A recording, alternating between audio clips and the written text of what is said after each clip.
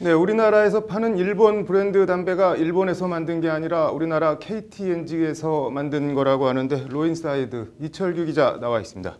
이 기자, KT&G와 서울세관이 이른바 로열티 소송이 붙었다고 하는데 어떤 소송인가요? 네, 이번 소송은요. KT&G가 서울세관장을 상대로 낸 관세 등 부과처분 취소 소송입니다. 네. 이 소송의 쟁점은 KT&G가 그 일본 유일의 담배 회사인 JTI 이 회사에서 담배 원료를 수입해서 일본산 담배를 제조했는데요. 네. 이 가운데 그 담배 잎에 로열티 명목으로 관세를 부과한 28억 9천원만 원이 네. 부당하다고 하면서 낸 소송입니다. 뭐 담배잎에 붙는 로열티 관세가 부당하다는 건데 뭐 구체적으로 뭐가 부당하다는 건가요? 네, KTNG 측의 주장은요. 네. 이번에 뭐 상표가 붙어 있지도 않은 상태에서 수입된 원료, 그 바로 담배잎인데 네. 이 담배잎에 로열티 대금을 과세하는 건 부당하다는 거고요. 네. 우리나라 관세법이 로열티를 뭐 특허권과 사- 실용신안권, 디자인권, 상표권 뭐 이렇게 분류하고 있는데 네. 담배잎에는 뭐 어떤 상표도 붙어 있지 않은 그냥 원재료일 뿐이니까 네. 여기에 로열티를 부과하는 건 법 위반이라는 게 KTNG 주장입니다. 네. 뭐 아주 틀린 말도 아닌 것 같은데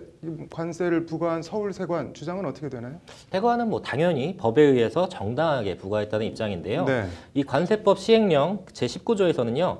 상표권이 지급되는 경우 수입 물품에 상표가 부착되거나 경미한 가공 후에 상표가 부착되는 경우 권리 사용료를 산출하도록 되어 있는데요. 네. 바로 이 경미한 사- 가공 후 상표 부착 이 경우에 담배잎이 해당한다는 겁니다. 네. 뭐 담배잎엔 상표가 없지만 이것을 뭐 경미하게 가공을 해서 일본산 담배 브랜드를 붙여서 판매했으니까 담배잎에도 당연히 관세를 부과하는 게 옳다는 겁니다. 네. 오늘 선고가 나왔는데 결과 어떻게 나왔나요? 네, 뭐 결론부터 말씀드리자면요. 원고인 KTNG가 뭐 완패했다시피 한데요. 네. 오늘 서울행정법원 제2부에서 원고의 청구 중 가산세 부분을 제외한 뭐 관세와 부가가치세 부분은 기각을 했습니다. 네. 뭐 서울세관이 뭐 로열티 관세 부과가 정당하다고 판결을 한 건데요. 네. KTNG 측에서는 뭐 아주 발끈했습니다. 뭐 발끈한 이유가 어떻게 되나요? 네, 뭐 세관 측에서는 그 필립 모리스 담배 사건을 이번 사건의 주요 논거로 삼았는데요. 네. 그 세관이 주장하는 판례와 이번 사건이 전혀 다른 구조라는 겁니다. 네. 필립 모리스의 경우는요, 담배잎을 수입하면서